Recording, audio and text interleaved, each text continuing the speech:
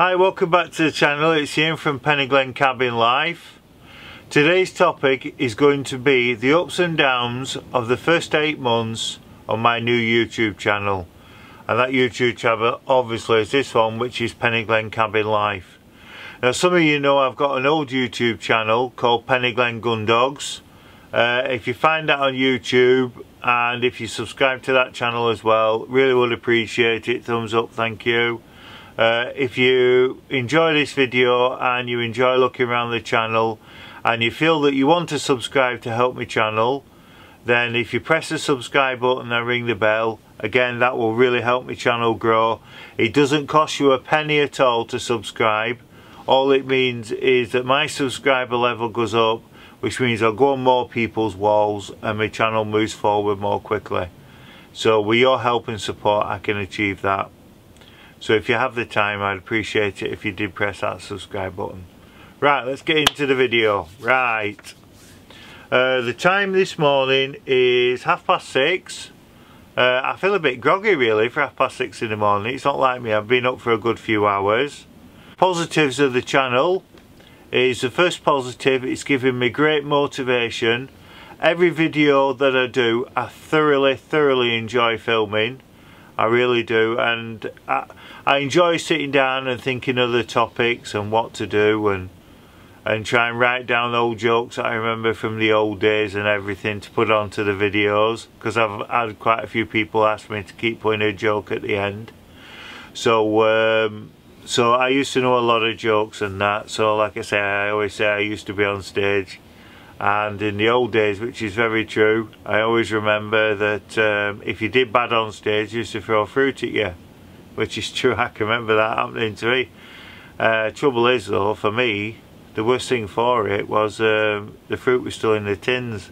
So you're like you're dodging all the time all tins. Ugh, not you that so uh, no joking aside.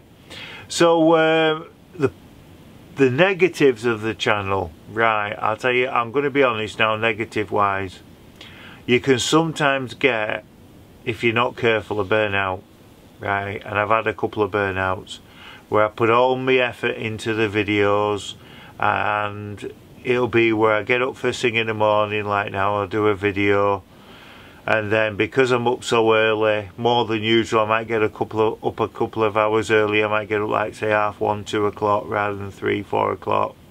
I, am not kidding you, I do.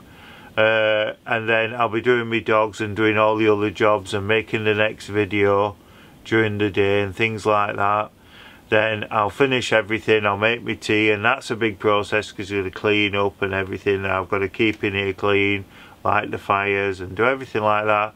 And then by the time it gets to night time I'm then editing the video for the next day and then during the night it's uploading and things like that. So sometimes if you're not careful you can get a burnout especially if, if friends and family come to visit because you're you're like you're doing catch up all the time then if you know what I mean. So then few hours are really essential for you to do the filming. Then you're going out later on you're filming which is throwing the editing back till later on at night that you're doing which means you're still getting up early which means you're more tired as well. So but uh, that's the negative side. Uh, what other negative sides is that? You get very tired a lot like I say with the burnout and then sometimes you'll you'll just have a couple of days off because you're that that exhausted with doing the videos. But you know that's really the only downside really. I enjoy the editing. I use iMovie. I've got an iPad so I use the iMovie. I enjoy that. Um, I've just found yesterday that when I went on it they've just done an update on it. So so I enjoy that. Um, yeah, so I've enjoyed learning about these lenses with this camera. So it's a big game changer, this camera. I really do like this camera. I've bought myself a softbox, so that's why it's nice and bright in my face now. Uh, this is the first video with the softbox, so that came the other day. Um, he actually, when I bought it, there were two in the box, but I've not opened the other one. I've just got this one going. So so that's about that uh, what else have I been doing um, I've been doing quite a few jobs in here yesterday potted about. I did my washing up, I got behind my washing up again. Don't you dare laugh. I can sometimes, I do it every day, but sometimes if I don't do it for a couple of days, it can build up. Obviously it can. So I, I last night I made a lovely spaghetti bolognese. That were really, really nice. I enjoyed that. Um, I've got some leftover. I've got today's worth leftovers. But what I'll do is I'll put fresh pasta on today. Uh, I don't like warming up pasta really. So, so that's about that. Um, obviously, I'm not I'm not going to be having any visitors because I'm I'm in lockdown and everything like that. So so I feel a bit isolated in a way, more than what I would normally do. I've said before in the channel, it's a strange feeling really because even though I don't really see anybody from one week to the next, I really don't. Back in mind, you're always thinking, oh, well, somebody will come and they might turn up because Ian and Patrick and a few others just turn up behind me and say, hey up Ian. And then you think, whoa may jump out your skin.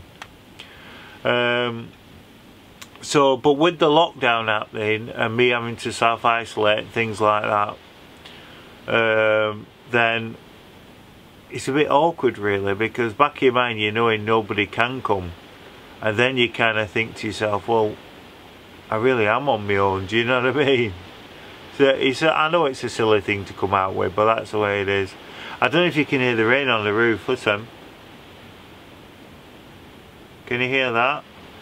It's blowing a gale outside and it's raining very very heavy.